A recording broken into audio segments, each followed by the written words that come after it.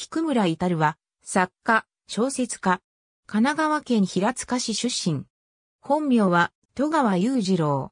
旧制湘南中学を経て、1944年に仙台陸軍予備士官学校へ入学。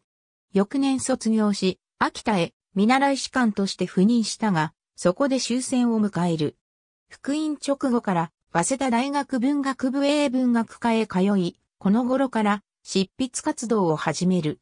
1948年、大学卒業とともに、読売新聞社へ入社。社会部の記者として活動する傍らで、執筆活動を行うようになり、同年6月に、川の上1949年10月に、詩集を発表し作家としてデビュー。1954年には、受胎告知が第32回芥川賞候補となる。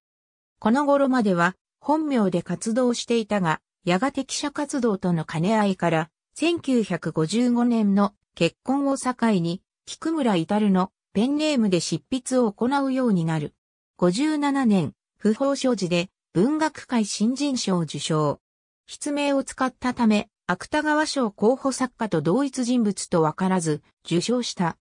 1957年の第37回芥川賞受賞を機として10月に読売新聞社の文化部記者を退職し、以降は文筆活動に専念するようになる。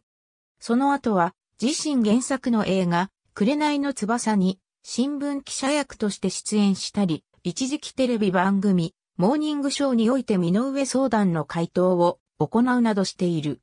作家として息の長い活動を続けていたが、1999年4月に心筋梗塞のため73歳で死去。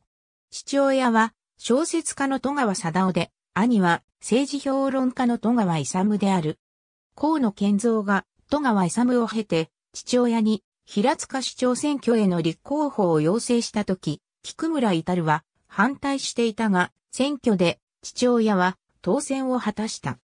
後に父親が出版した市長時代の回顧録には、戸川勇が端末での寄せ書きで、息子は親父のアンチテーゼと菊村至が語っていたことを記している。なお叔父にイタリア文学者の岩崎住隆がいる。また、夫人の義兄には福田恒有がいる。なおペンネームの由来は、その夫人の名前である菊江からである。初期は純文学だけでなく、太平洋戦争に関する作品が多いが、これは自身の士官学校経験だけでなく兄も陸軍経験者であり、また記者時代には海外の日本人戦犯に関する取材のため何度か現地へ赴いていて、それらの体験などが執筆に活かされたものである。